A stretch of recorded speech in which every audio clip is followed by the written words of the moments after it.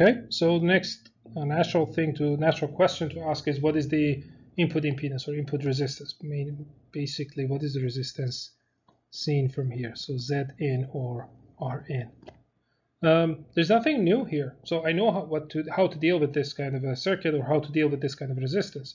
I know that looking into the base, I'm going to see R pi plus whatever resistance that I have at the base. In this case, I don't have any plus whatever I have at the emitter times beta plus 1. So beta plus 1 times Re. So that's pretty much it. So this is my R in. No more discussions, nothing else, right? Uh, one interesting thing that I can actually say here is that I didn't really need to write all of those uh, equations in the last slide. I could have found the gain much easier using this trick that I just learned.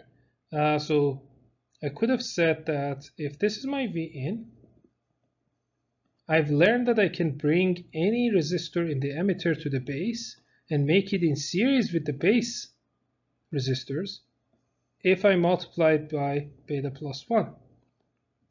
Okay, now where's my V out? Here's my V out. Now, what is V out over V in?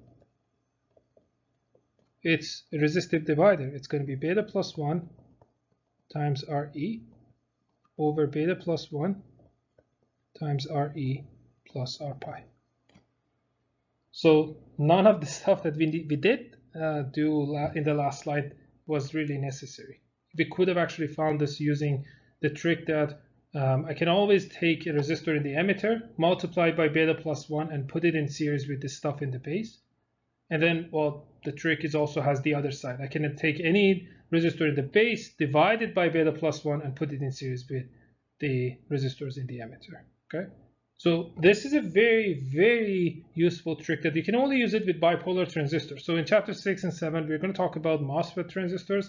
And over there, you can you don't have such a relationship. But here, you do have it and try to use it. That anytime that you're analyzing any kind of anything related to the resistors and resistance, uh, you can always take stuff from emitter to the base, and you can always take uh, stuff from base to the emitter. You, all you need to do is to either multiply by beta plus 1 or divide by beta plus 1. Okay? Okay, how about the output impedance? Um, let's do whatever we do with the rest of the circuits, whatever we've done up to now. Uh, we connected the input to ground, we shorted the input, and we applied this, let's say, V-test, I-test thingy here. Right? We don't really need to do KVLs and KCLs anymore. We can actually see it. Like we have been like practicing so much that we can like I'm hoping that all of you can see it. So looking into here, looking down, I'm just going to see RE. Looking up, I'm going to see 1 over GM plus whatever is in the base divided by beta plus 1. And these two are going to be in, uh, are in parallel with each other. Therefore, my R out is just going to be RE in parallel with 1 over GM plus Rs divided by beta plus 1. Okay, so this Rs is the resistor in the base. Why did we call it Rs? Because it's like the source resistance, the source that we just turned off, right? But it doesn't matter what is the name. Uh, what matters is that it's in the base, so we're just going to divide by beta plus 1. Uh, and we have 1 over gm, and then th those are in parallel with whatever I'm looking, whatever, whatever resistance I see looking down, which is Re. Okay, so the reason I'm doing all these stuff is not to like none of the slides that I've done. Uh, the purpose of the slide is never uh, to to to give you some expressions to remember. I the last thing I want you guys to do is to actually remember these expressions. What I want you guys to do is to learn how did we actually looked at this circuit and immediately wrote this expression for the R out or R in or gain or stuff like that. If you know how to do it, you're good. If you don't know, you have to practice more and more and more until you actually see it. Otherwise, you're not going to have time in the exam to draw the small signal circuit for this or for that, or like basically write KVLs and KCLs. Yeah, you might actually uh, have time to do it for one of them, but then well, the exam will be over by the time that you're done with one question, right? So you should be, for the exam, you should be able to see the resistor looking into, I don't know, collector or emitter or base of a transistor uh, and then like if, if there is a resistor in the emitter or if there is a resistor in the base or collector, um, and then how to actually write the expression uh, the way that we wrote it here or in the other slides. Okay. In the end of this lecture, we're going to do a, a, few more examples so that it, it, becomes more and more clear for you guys. And then you have to do the assignments so that it actually uh, crystal clear, hopefully for you. Okay, we talked about the fact that common collectors are buffers. Well, let's see actually, and then we mentioned that the point of having a buffer is not to have gain, it's actually to be able to have a very low output impedance.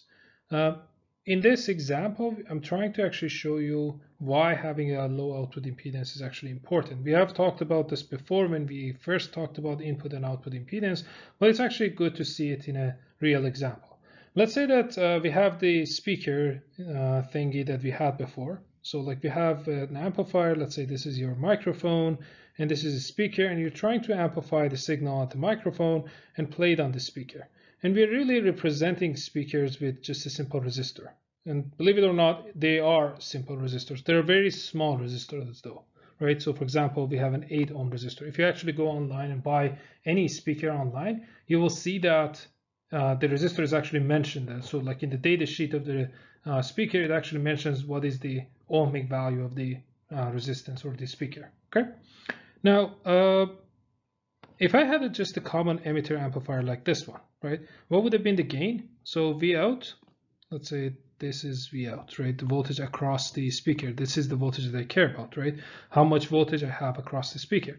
So V out over V in would have been um, G, negative GM times whatever resistance I have at the collector, right? And that would have been RC in parallel with our speaker. Okay, and uh, just to get some idea about like the numbers, let's say that the transistor's beta is 100. It has a GM of, um, let's say 0.1, which means that R pi has to be a 1000 ohms. Okay. Now, if the speaker wasn't connected to this, right? So like without the speaker,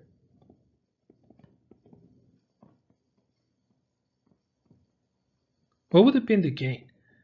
like if there was no speaker here,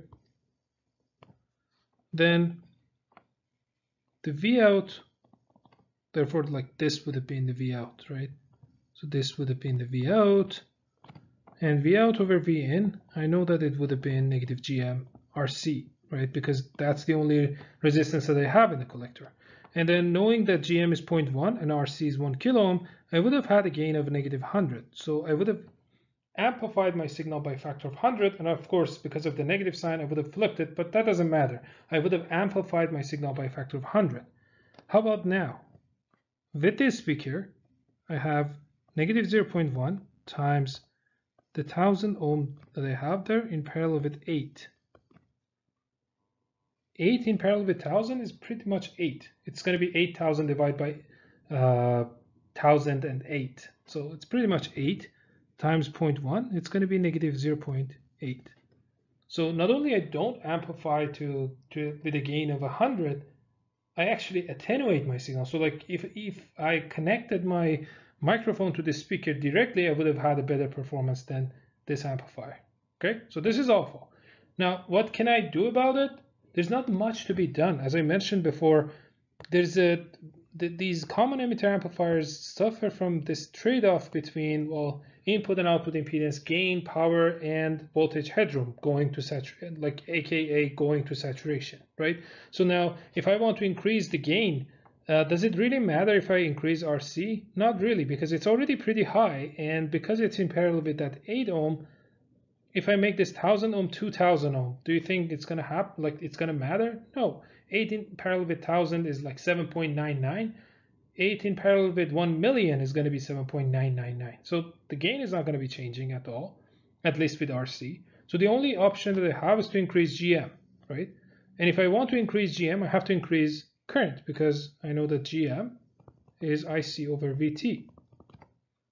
So VT is constant, so I have to increase current, which has power penalty. But even if I don't care about power, the moment I start increasing IC, the RCIC is going to increase. So the voltage across this guy is going to increase.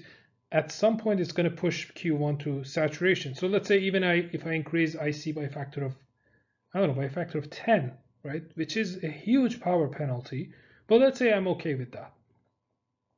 even if I do that, I might actually push my uh, push my transistor to saturation. But even if I even a current that is at like 10 times bigger, right, is not going to push my transistor to saturation. Still, I'm going to get a gain of 8, not 100. Okay. So like with 10 times more power consumption, with a high risk of going to saturation, therefore no amplification, I get a gain of 8. So this is awful. Then this is why we need a buffer. So whenever you're loading, whenever your load is actually has this very small resistance, you definitely need a buffer. Okay, so let's see what happens with the buffer. So the gain of this stage, now I have a two-stage amplifier, right? So I amplify V in. Uh, this first stage is a common emitter, so let's call this V midpoint. And then, so I have a Vm over V in. And then from there, I have some, uh, let's call this V out. I'm going to have V out over Vm, right? And then I'm going to find out what is the gain, okay? So first, let's find out what is Vm over V in. So Vm over V in is going to be, again, negative Gm times whatever resistance that I have in the collector. What do I have at the collector? Well, looking at this, I have RC in parallel with this R in 1 that I have mentioned here, right? So whatever I see into the base of Q2. But I've learned what how to calculate that. R in 1 is equal to R pi plus whatever I have at the emitter times beta plus 1. What do I have at the emitter? Well, in the small signal analysis, the current source is gone. This is a DC current source. The capacitor is short circuit, so I just see the 8 ohms, so times 8. So I'm going to have some decent resistance. So R pi is 1000, so 1000 plus, let's say beta is 100 times 8, 800. So it's going to be 1.8 kilo. Okay, therefore my Vm over Vin is going to be 0.1 times um, RC in parallel with R in 1, which is 1K in parallel with 1.8K.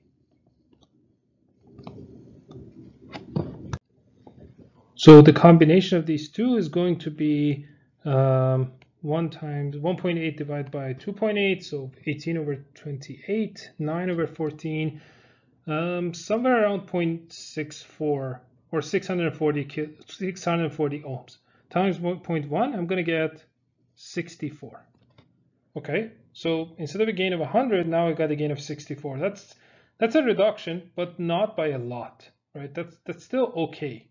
Okay, now let's see what I can have uh, next. So for V out, I have V out over Vm. That's the next thing I have to calculate, right?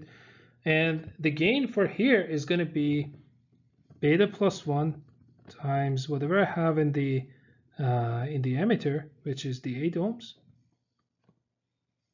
Re, basically, over beta plus 1 times 8 plus R pi. Okay, so now I can say that this is 800 over 800 plus R pi. Okay, now the nice thing is that, by the way, this is GM1 and R pi 1, right? So it's I'm only talking about the first transistor.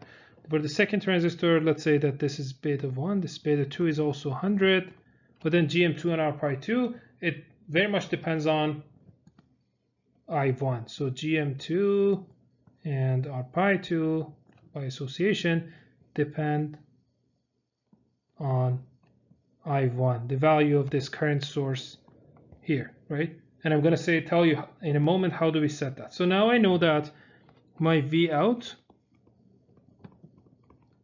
over Vm, or sorry, V in is going to be this 800 over 800 plus r pi 2 times that 64 that I had from before. Okay. Now looking at this, the nice thing is that I have a very low output re resistance because, well, uh, the output resistance looking into the uh, for, for a common collector is basically looking into its emitter is just 1 over gm right but what is it the, what's the benefit of this low output resistance well looking at this gain, I can see that I can choose this RPi to be small enough so that this gain is going to be almost one, the gain of the common collector stage. As you remember, we said that like we can actually set this gain to be as like very like it's going to be less than one, but it's going to be very we can set it to be very close to one, right? If I do that, then I can make sure that V out over V in is going to remain at 64. Therefore, I'm going to have a decent amount of gain here. Okay, so I'm not going to be increasing this current by a factor of like this current here by a factor of 10. I'm not going to be risking saturation. I'm not going to be doing anything. And uh, I can get a very good gain, like around 64. Let's say that like this is because this is somewhere around, I don't know, 0.9 something. Uh, and I don't get 64, I get 60 or even 50, right? You get a good amplification. With a common emitter, there was no way to win with this, right? There was no way to actually amplify the signal beyond the very, very small gain and even for that you had to pay a lot of power uh, a lot of cost in terms of power consumption however here all I need to do is to say okay I want a small r pi and I know that gm r pi is going to be basically equal to beta so I just need to make sure gm is pretty big and gm is ic over vt so I just set, set the ic which is basically set by this current source I set this current source to have that gm right so basically by doing this um, of course, I'm paying, I'm having another stage here, so I'm paying extra power cost, but at least with that extra power cost, I'm going to get the gain that I wanted, right? So the gain that I get at the output is going to be uh, like somewhere around 50, 60 or something like that, right? So the point of having a common collector is that generally, uh, whenever you have a load that is small, you really need to actually have a common collector at the last stage before connecting to that load so that you buffer the amplified signal to that without the load affecting your gain. Because if you connect the amplification gain directly to the load as we have it here, then that load is going to be in parallel with your RC and then it's going to kill your gain. You're not going to get any gain out of this thing. But then if you actually like this collector is really, really the, like you can see the definition of buffer. You have your amplifier here, you have your load here, and this buffer stage is really buffering uh, from here to here. So it's basically copying the voltage from here to here, and then it doesn't let the load to see your amplifier and to ruin your amplifier's gain. So the last thing I, I wanted to talk about is the biasing of common collector stages. Um, there's nothing to talk about. It's just that I wanted to mention that it's exactly like what we do with common emitter stage. So like there's nothing new about it because uh, as you can see, we, we can either do it using this, this single RB, using simple biasing, or using this uh, resistive divider. But at the end of the day, uh, since the input is at the base, we do exactly what we did with common emitter. And all the discussions that we had for the biasing of common emitter stage applies to here as well.